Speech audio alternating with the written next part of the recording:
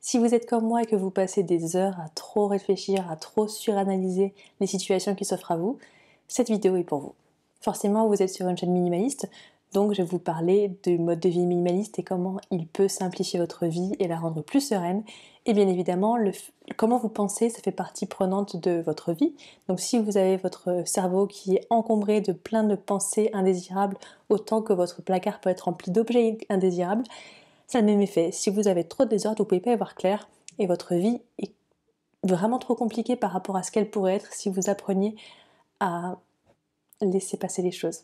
Et ici, les choses sont des pensées. Bien sûr, penser, réfléchir, c'est très bien, c'est très important, c'est ce qui nous permet de grandir et d'évoluer. Mais maintenant, devenir obsédé par ces pensées ou des pensées excessives qui nous conduisent à, avoir de l'anxiété, des peurs, des, angoisses, quelque chose qui est très courant, bien plus courant que ce qu'on pense. Et moi, typiquement, je pense beaucoup trop le soir quand je vais me coucher, j'ai beaucoup beaucoup de mal à m'endormir, et quand je me réveille la nuit, j'ai beaucoup de mal à me rendormir parce que je pense trop. Et c'est quelque chose qui qui paraît très naturel, juste réfléchir, mais parfois on ne sait pas s'arrêter de réfléchir, et quand notre cerveau peut jamais être au repos, ben on est épuisé, c'est très mauvais. Et en fait, l'esprit est notre, soit notre meilleur allié, soit notre pire ennemi. Il n'y a pas d'entre-deux. Soit il peut vous aider à, à surmonter des situations qui sont horribles et vous faire voir le bon côté des choses et grandir évoluer au quotidien, soit il peut vous conduire à faire des choses absolument terribles qui peuvent même vous conduire jusqu'au suicide si vraiment votre esprit est dans un état, un état très très dégradé. Donc il faut vraiment pas prendre ça à la légère. L'esprit et les pensées c'est quelque chose qui a un poids énorme dans notre vie, même si on ne s'en rend pas compte. Et on va apprendre aujourd'hui à essayer en tout cas de les canaliser pour pas qu'elles ne prennent le pas sur notre vie. La première étape, on en parle beaucoup en ce moment, c'est la pleine conscience. Parce que rendez-vous bien compte que quand vous êtes en mode autopilote, par exemple quand vous conduisez l'endroit que vous connaissez par cœur, souvent vous ne pensez pas à ce que vous faites, parce que vous connaissez par cœur la chose, donc votre esprit le fait automatiquement, mais du coup vos esprits, votre esprit et vos, pensées s'évadent dans tous les sens. Ça vous est déjà sûrement arrivé d'être arrivé à une destination sans vous rappeler vraiment que vous avez conduit ou euh, pris le vélo, n'importe quoi. Parfois quand on fait les choses vraiment en mode autopilote, on maîtrise pas nos pensées parce que on les laisse complètement s'échapper. La première étape, c'est la pleine conscience. On en parle beaucoup partout. La pleine conscience, souvent on associe ça à la méditation et souvent on associe la méditation au fait d'être assis en tailleur, les mains comme ça, avec de l'encens qui brûle à côté, etc. Mais non, la méditation, ça peut être ça bien évidemment si ça vous fait du bien, si vous y arrivez. Mais si vous êtes comme moi et que vous avez tendance vraiment à partir dans tous les sens, 10 minutes de méditation, c'est déjà le bout du monde parce qu'au bout de 10 minutes, je suis frustrée parce que j'ai pas réussi à me, à me canaliser et du coup, je me sens encore plus énervée et pour moi, c'est pas du tout efficace. Pour moi, les méditations les plus efficaces, ce sont soit le sport, soit les activités manuelles. Euh, pour moi, ça suffit, pour moi, c'est déjà pas mal. Mais ça peut être n'importe quoi, ça peut être aller marcher et plutôt que réfléchir à n'importe quoi, vous vous concentrez sur vos pieds qui touchent le sol. Ça peut être faire un sport où vous n'avez pas besoin de réfléchir à autre chose qu'au sport que vous faites. Typiquement, je fais du crossfit et on est tellement dans le truc où il faut faire quelque chose de, particulier et c'est vraiment dur. Du coup, pendant toute la séance, je ne pense à rien, si ce n'est à ce que je fais, à comment mon, body, comment mon corps bouge et comment est-ce que je vais être capable d'arriver à la répétition suivante. Mais voilà, ça peut être n'importe quoi, ça peut être faire du tricot, ça peut être tout plein de choses. La méditation, ce n'est pas forcément être assis en lotus, mais la méditation, c'est quelque chose qui est vraiment indispensable pour l'esprit humain, qui permet vraiment de se recentrer, de relâcher la pression de tout ce qui se passe autour, et même de ce qui se passe à l'intérieur de vous, pendant cette période de temps donnée. Ça peut être juste une minute comme ça peut être deux heures, ça dépend absolument de ce, de ce dont vous avez besoin, mais c'est vraiment indispensable. La deuxième astuce, c'est d'apprendre à respirer.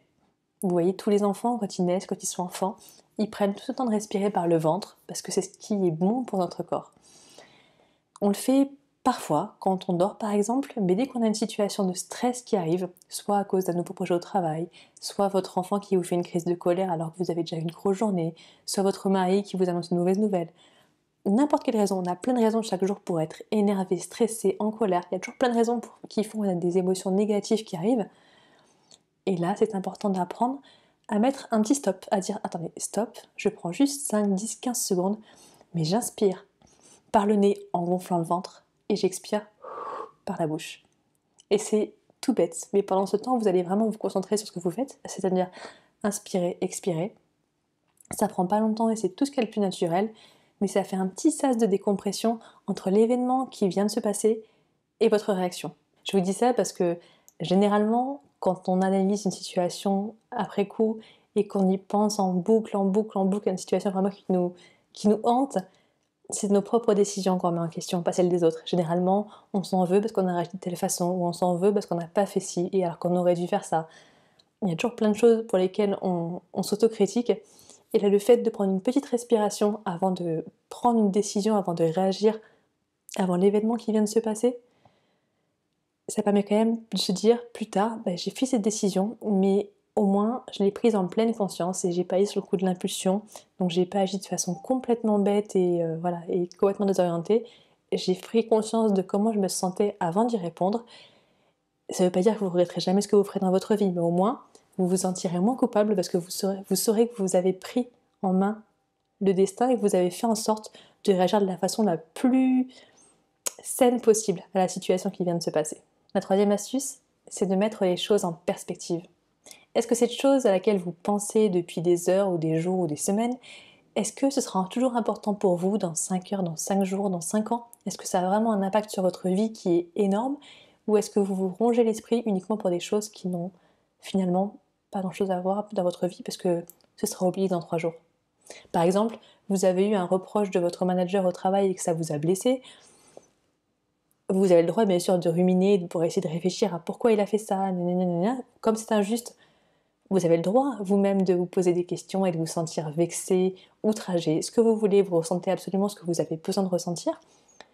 Mais si, par exemple vous êtes dans une démarche déjà de changer de travail, que votre travail ne vous plaît plus et que du coup il se passe ça, peut-être que vous pouvez prendre un petit peu de recul en vous disant bah, de toute façon, ce travail ne me plaît plus, je suis déjà en phase de recherche active ailleurs, donc finalement, est-ce que j'ai vraiment besoin de me prendre la tête pour un truc qui sera complètement insignifiant dans deux mois quand j'aurai trouvé un nouveau travail?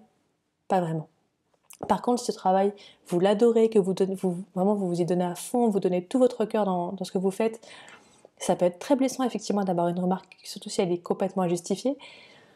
Donc là, n'hésitez pas. Vous avez le droit, bien évidemment, encore une fois, de ressentir ce que vous ressentez et d'y réfléchir autant que vous voulez, mais faites, agissez. Ne restez pas juste dans la pensée si quelque chose vraiment un impact fort sur vous, que ça vous fait perdre votre sommeil, ça vous fait perdre une bonne partie de vos journées parce que vous réfléchissez, que vous êtes toujours tendu, nerveux, énervé, stressé, n'importe quoi, parlez-en. S'il vous plaît, que ça peut être directement à la personne concernée si c'est possible, ça peut être à un ami, ça peut être à de la famille, ça peut être à un thérapeute, à n'importe qui.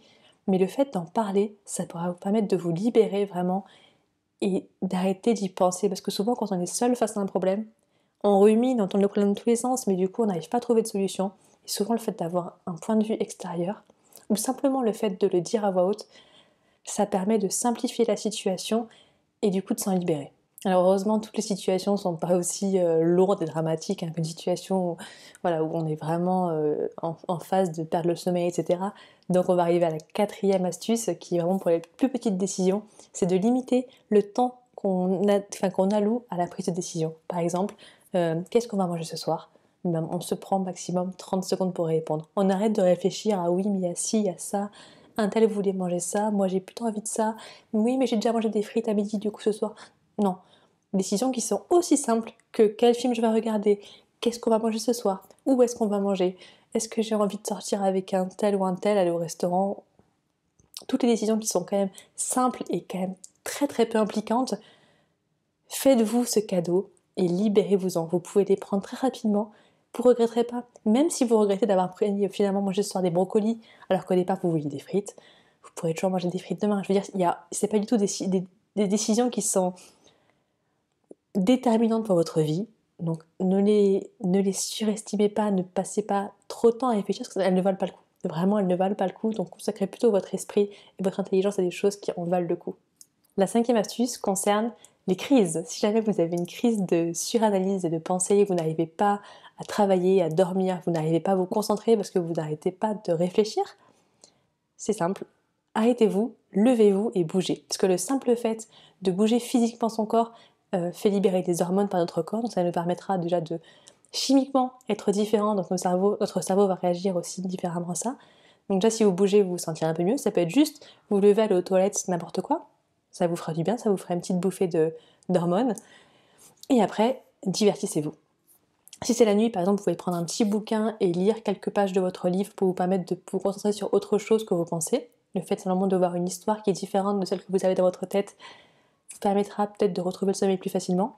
Sinon, ça peut être simplement euh, faire une petite marche dehors euh, à l'air frais avec un podcast dans les oreilles pour ne pas avoir à trop réfléchir. Vous écoutez juste et vous marchez. Ça peut être aller faire du sport, ça peut être euh, faire du yoga, ça peut être, encore une fois, faire du tricot, ça peut être n'importe quoi que vous aimez faire et qui du coup va vous occuper l'esprit et vous, vous empêcher de trop penser. J'ai failli oublier de vous préciser, quand vous avez une crise de pensée, n'hésitez pas à appeler un ou une amie parce que le fait d'en parler encore une fois, ça aide beaucoup et le fait de parler d'autre chose, ça permet aussi de soulager son esprit. Sinon, vous pouvez également mettre des petits commentaires sur cette vidéo et je m'y ferai un plaisir d'y répondre.